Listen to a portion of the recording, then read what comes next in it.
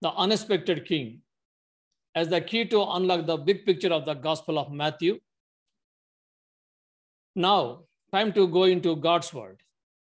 So, if you have your Bibles or BSF app, please turn with me to Gospel of Matthew, chapter 19, verses from 21 to 22.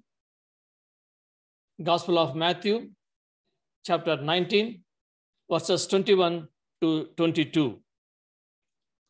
If you, Jesus answered, if you want to be perfect, go, sell your positions and give to the poor, and you will have treasures in heaven. Then come, follow me.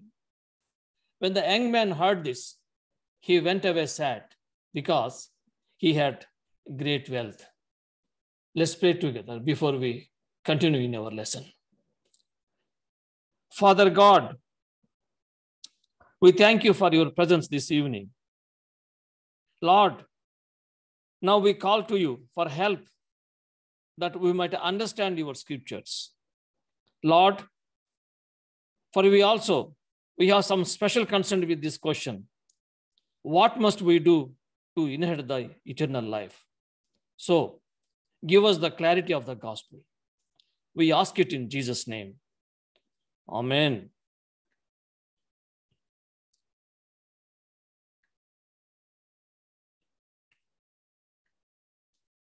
Friends, Rockefeller was the first billionaire, the only one in the world in 1839. At the age of 53, tragedy struck this gentleman. The best doctors in the world told him that he could not live more than one year. Since he knew he could not take his money with him, he started giving it away. He did wonderful things with, with this money. He began the University of Chicago and Rockefeller University. He began the Rockefeller Foundation, which is instrumental in the discovery of penicillin. He also made a, a profession of faith and helped churches and needy people and attended church every Sunday, even teaching Sunday school class until he died at the age of 97.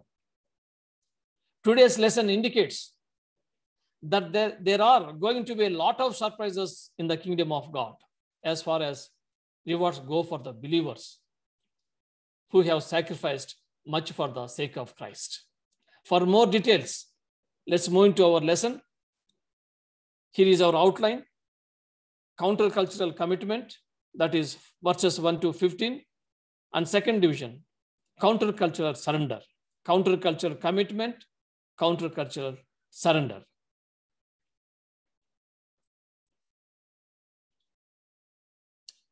Our first verse starts, starts with when Jesus had finished saying these things. This verse repeats five times in the Gospel of Matthew, which contains five major discourses. And scholars divide the book of the book of Matthew by these five markers. When Jesus has finished saying these things, he left Galilee.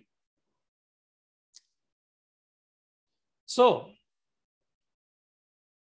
verse 1 marks the end of two and a half years of Jesus' public ministry and traveling to Jerusalem, where he would be rejected and killed for the, for the redemption of his people. Jesus would return to Galilee only after his resurrection from the dead and went into the region of the Judea to the other side of the Jordan. You see, when going between Galilee and Judea, the Jewish people always would cross over the east side of the Jordan River and travel through Perea. Reason? Jesus, Jews considered Samaritans as a mixed race, as Gentiles. However, this kind of thinking not true of our Lord. John chapter 4, we learn our Lord traveled through Samaria and ministered to the Samaritan women at Jacob's well at Sychar. But on this trip, however, the Lord crossed over the Jordan to minister the needs of the people of Perea. And in verse 2, we read, large crowds followed him and he healed them there. As Jesus is traveling, as with most places that he goes, large crowds of people are following him. People want to know and experience his teachings and his miraculous healing. Some Pharisees came to him to test him. They asked, Is it lawful for a man to divorce his wife for any and every reason? In our text, we find Jesus moving towards Jerusalem. A group of Pharisees tested him with a question about divorce. At the time of Christ, divorce was part of the culture in Israel. There are two schools of thoughts about divorce in Israel. One is the strict view. The strict view held that a divorce can could only be justified because of sexual immorality. And there is a more lenient view. This view held that a divorce could be obtained for just about any reason. But why did the Pharisees ask Jesus about the issue of divorce? The Pharisees thought that they could discredit the Lord with their question about divorce because no matter which way the Lord answered the question, some portion of his followers would be antagonized. Thus, his followers would be split. So, how did Jesus answer? Haven't you read? First, he spoke about the biblical ignorance of the scholars. Jesus asked the question, Have you not read? Meaning, have you not read the Bible? Friends, this is our problem. We do not read the Word of God to find the principles given to us in it to govern every aspect of our lives. At the beginning, the Creator made them male and female. Then, instead of answering yes or no, the Lord went back to the creation account and spoke about the time when God instituted marriage in the beginning. So, Jesus is quoting from chapter 1. So, God created mankind in his own image. In the image of God, he created them, male and female, he created them. So, Jesus asks his challengers if we are going to talk rightly about marriage and divorce, we must start here.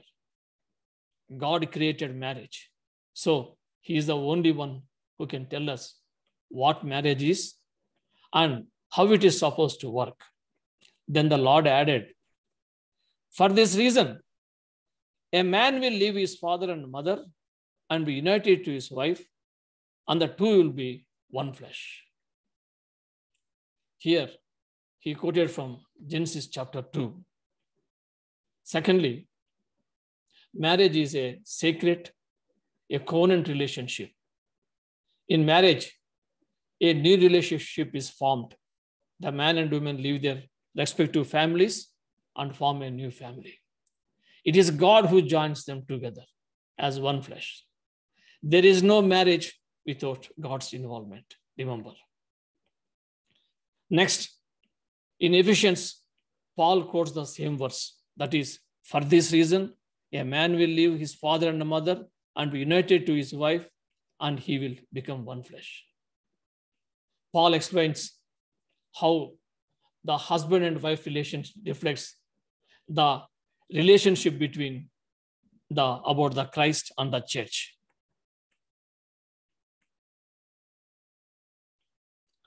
This, and then he says in the second part of verse 32, this is profound mystery but I am talking about Christ and the church.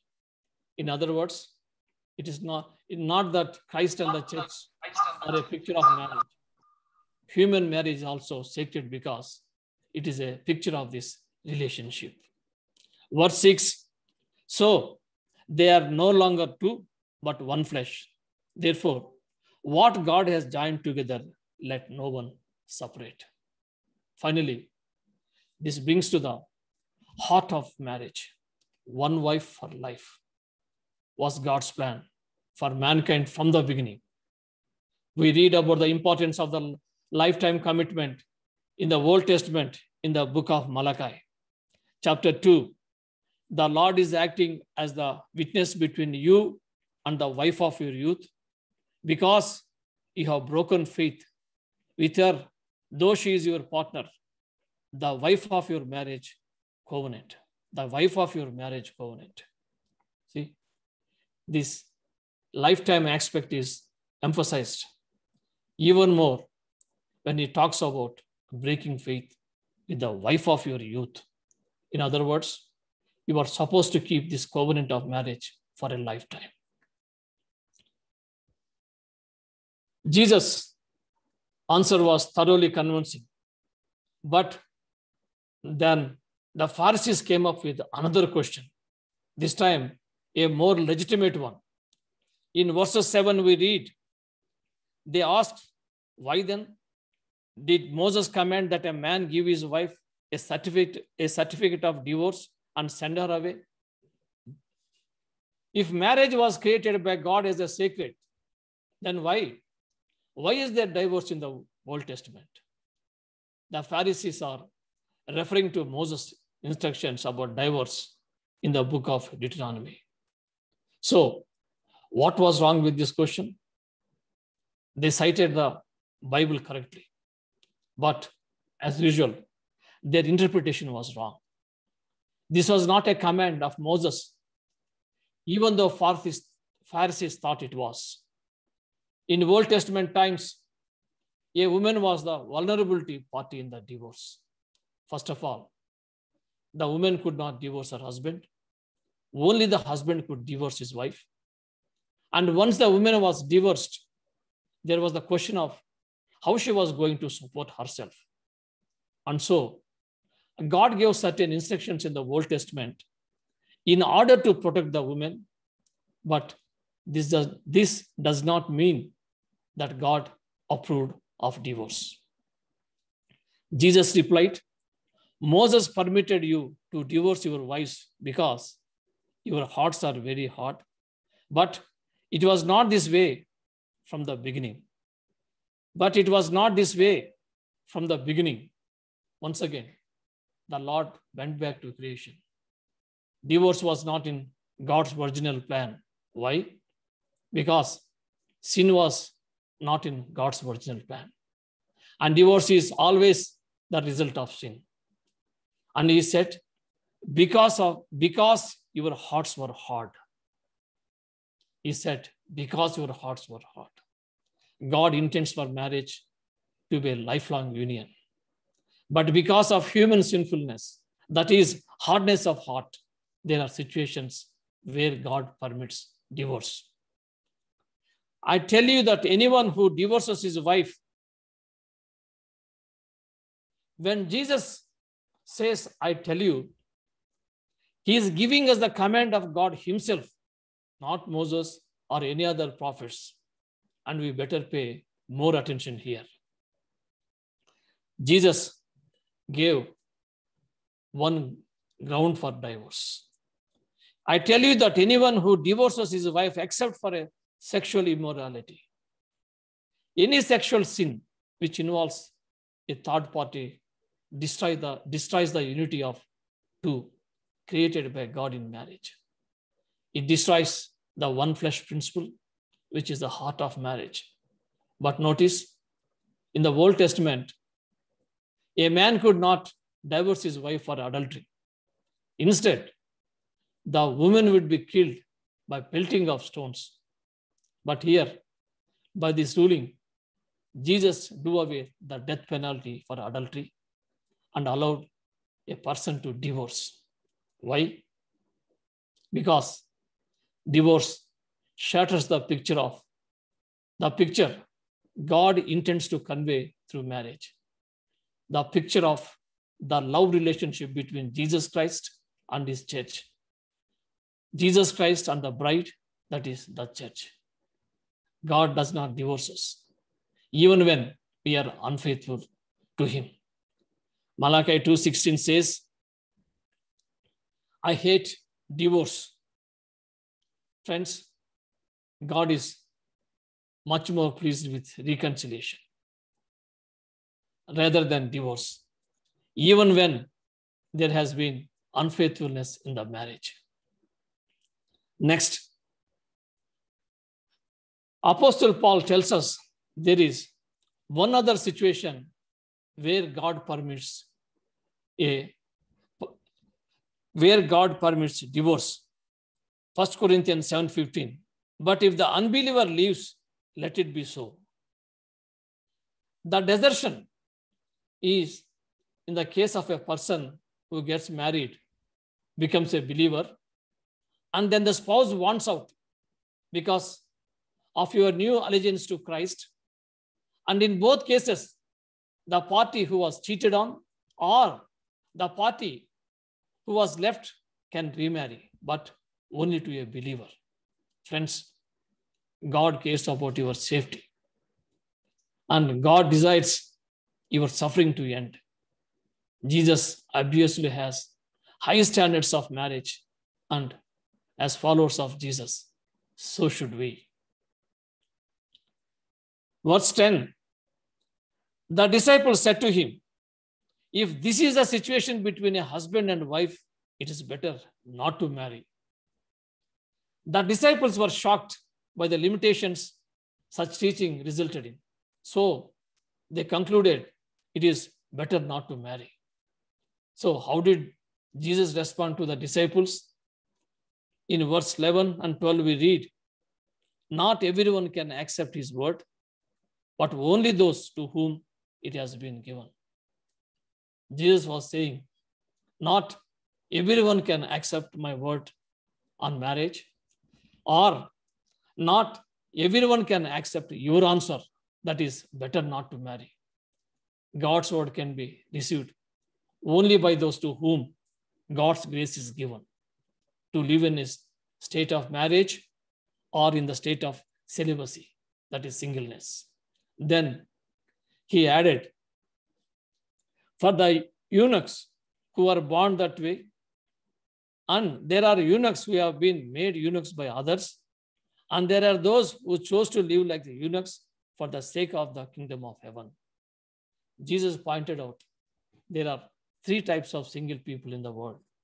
That some are single by choice, and others are single by circumstance, and those who are using it for the kingdom of heaven. Friend, you see, whether married or single, God has a plan for our lives. So, friend, if God is calling you to singleness, embrace that and live that life of singleness for the kingdom of heaven and the glory of God. If God has called you to marriage, develop and sustain a marriage that magnifies the love of Jesus and displays the glory of God. Then we are in verse 15, verse 13. Then people brought little children to Jesus for him to place his hands on them and pray for them. But the disciples rebuked them. It seems that the disciples thought that Jesus was so important that he did not have time for children. However, they seem to have forgotten what Jesus said in our previous chapter about the kingdom of heaven. Kingdom of heaven belonging to those who are like children. Friends, consider what we are always called in the scripture. We are never called as adults of God. We are always called children of God. Children are dependent, and our complete dependence is to be on God alone. So, this takes to our first principle God deserves total commitment. God deserves total commitment.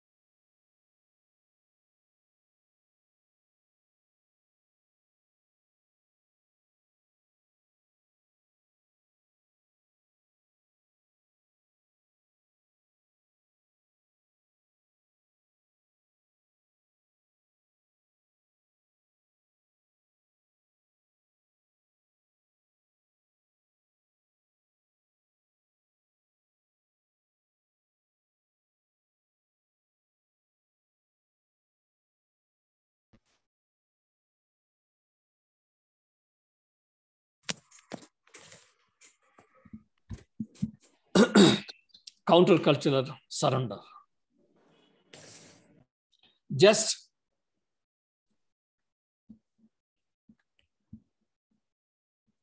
just then a man came to Jesus and asked, Teacher, what good thing must I do to get eternal life? Teacher. After blessing the children who had been brought to him, he and his disciples resumed their journey. As they walked along, a young man suddenly came running after them. Who was this man? We are told he was very rich and prominent. And we, and we compare the parallel accounts in Mark and Luke, we find that the man was young and he was rich and he was a ruler, possibly of a synagogue. He certainly was, was reverential towards Jesus, kneeling before him and calling him teacher. So the rich man is looking for a way to do something that will make him worthy to inherit the kingdom. He certainly comes to the right person for answers. But he has some misconceptions about salvation and how a person obtains eternal life. And so, Jesus needs to teach him. Even he needs to teach us this evening about what it means to follow Christ and go to heaven. Verse 17 Why do you ask me about what is good? There is only one who is good. The first thing Jesus needs to teach him is God only good.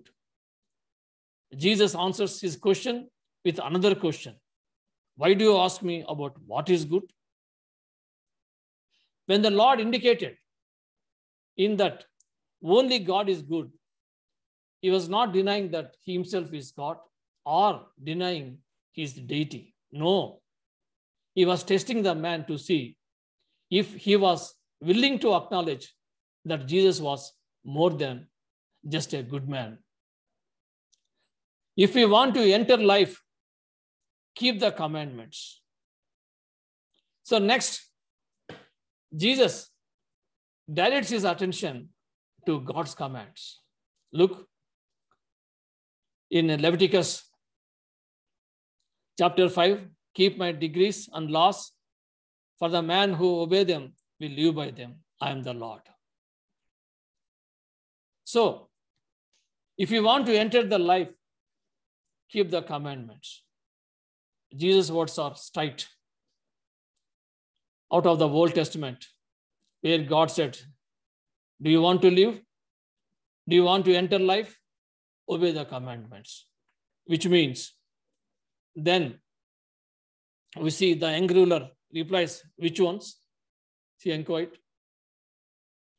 Now, Jesus sets before him that first he sets forth any gospel, not gospel. Jesus first directs his attention to the God's commandments and take him straight to the law, that is, the Ten Commandments. When the young man asked Jesus which ones, Jesus was focused Jesus especially focused on the second part. The first part of the commandments talk about our relationship to God. Those are all about how we relate to God. From there, that's when this, what's often called the second table of the law, which tells us how we should treat other people. So, Jesus replied, You shall not murder, you shall not commit adultery, you should not steal, you should not give false testimony, and uh, honor, honor your father and mother, and love your neighbor as yourself. Then, verse 20, all this I have kept. The young man said, What do I still lack? Friend, isn't that interesting?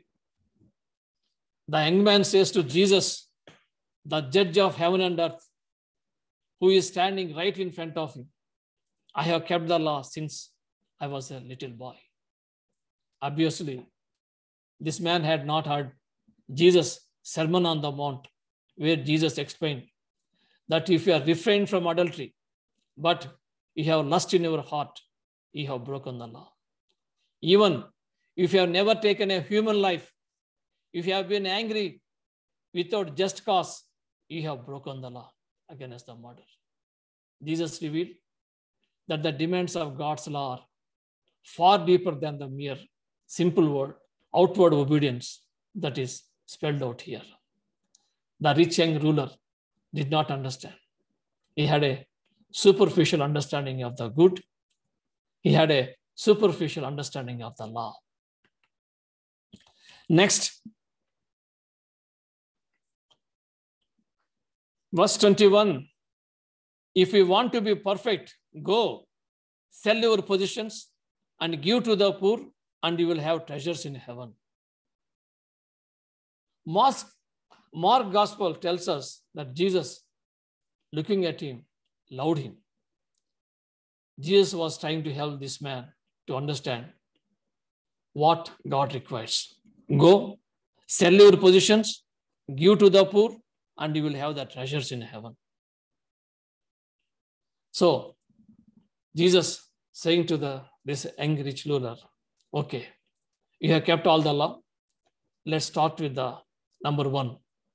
I am the Lord by your God. You shall not have any gods before me. Jesus knew that money was this man's God. Money was this man's idol. So Jesus does not ask for, for a donation, but he asks for a total surrender. Then come, follow me. It is not the giving away the money that will save him, it is the following Jesus. When the young man heard this, he went away sad because he had great wealth. Friends, verse 22 is one of the saddest, most ironic verse in the Bible. He went away sad because he had great wealth. This man who ran to Jesus now walked away from him in sorrow. The young man turned away because money was more important to him than Jesus. The pearl of great price was standing right in front of him. All the treasures of heaven and earth in the one who was standing before him. Yet he walked away from him. Then Jesus said to his disciples, Truly I tell you, it is hard for someone who is rich to enter the kingdom of heaven. Next, again I tell you, it is easier for a camel to go through the eye of the needle than for someone who is rich to enter the kingdom of God. Jesus takes the largest animal and the smallest of openings and says it is easier for a camel to go through the needle side than for the rich to enter God's kingdom. In these connections, we read in 1 Timothy chapter 6 those who want to get rich fall into temptation, for the love of money is the root of all kinds of evil. Some people, eager for money, have wandered from the faith and pierced themselves for many griefs. There are pitfalls for rich Christians as well. Now, we are in verse 25. When the disciples heard this, they were greatly astonished and asked, Who then can be saved? Jesus looked at, the, at them and said, With man this is impossible, but with God all things are possible. And in John chapter 14, verse 6, Jesus says, I am the way, the truth, and the life. No one comes to the Father except through me. So, yes, it is hard for the rich man to enter the kingdom of heaven. It is hard for all of us. In fact, it is impossible apart from God. Only God can save. And God only saves through Jesus. And in the final section of our passage, which focuses on the cost and the reward of following Jesus. And here we learn two vital truths. That is, you must give up everything to follow Jesus. Peter answered him, We have left everything to follow you. What then will there be for us? Jesus looked at them and said, With man, this is impossible, but with God, all things are possible. When Jesus called the disciples, they left their nets and fishing boats, tax collector booths, and families behind. And so, when Jesus comes along and says, Follow me, friend, you have a choice to make. Which will it be? Will you choose whatever it is that is keeping you from following Jesus? Or will you choose to follow Christ? So, that is the first thing we learn from this final section. We must give up everything to follow Jesus. Next, you receive far more from Jesus than you give up for Jesus. Jesus said to them, Truly I tell you, at the renewal of all things, when the Son of Man sits on his glorious throne, you, who, you, you who have followed me will also sit on the 12 thrones, judging the 12 tribes of Israel. And everyone who has left houses, our brothers, our sisters, our fathers, our mother, our wife, our children, our fields for my sake will receive a hundred times as much and will inherit eternal life. Friends, here is the best part. The, the disciples leave everything for Jesus and they sit on the thrones with Jesus. Those who sacrifice for Christ receive hundred times as much in return. Hence, yes, you must give up everything to follow Jesus. But you receive far more from Jesus than you give up for Jesus. And most important of all, when you follow Jesus, you will inherit eternal life. Eternal life.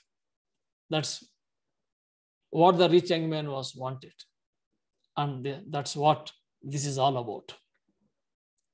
But many who are first will be lost, and many who are lost will be first.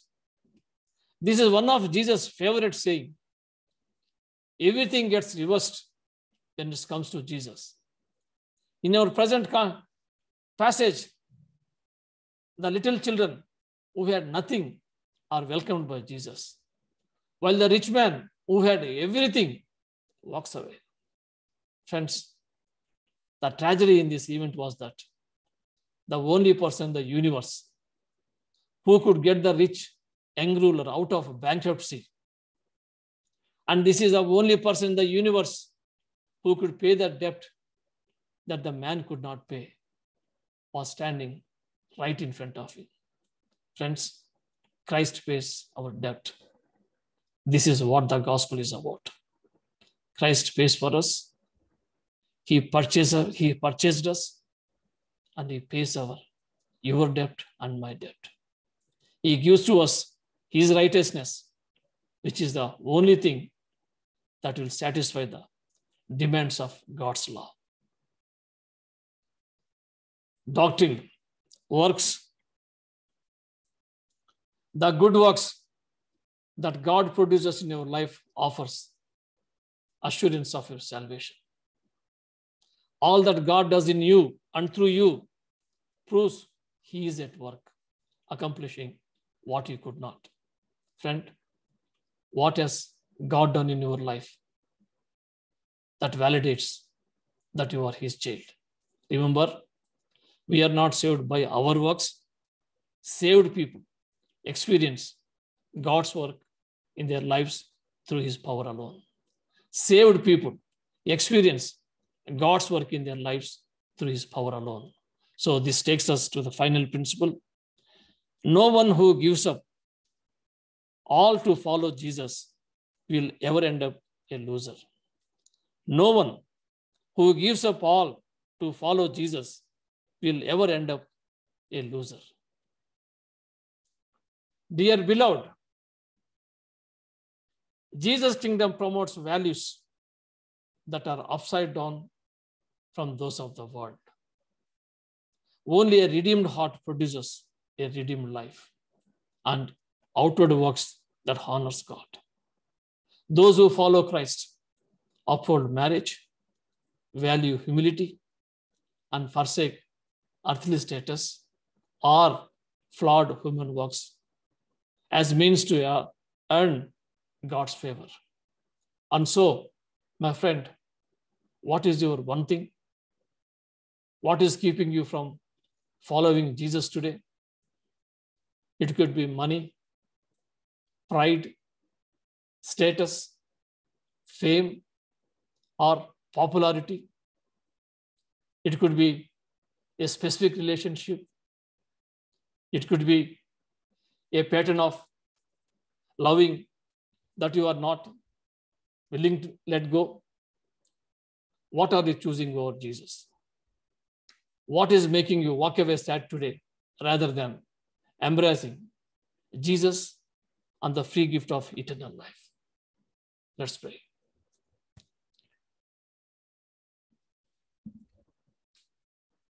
Dear Heavenly Father, thank you, Lord, for this one more wonderful lesson for our lives and the great truths what you have taught us this evening. Lord, nothing compares to the greatness of knowing you. And thank you for the promise of eternal life for all who follow you. Father, we admit we are beggars we have no bread. Father, we admit we are debtors, we have no money. But you have poured out a treasure to us through your Son and our Savior Jesus. Lord, forgive us. When we value what the world promotes more than we love what you love. And don't ever let us to walk away from you. This we pray in Jesus' magnificent name. Amen. Amen. Amen. Dear friends, class has been dismissed. We are going to meet next week at the same time. Thank you. Thank you, Brother Prem. Wonderful. Thank Wonderful. you, Brother Prem.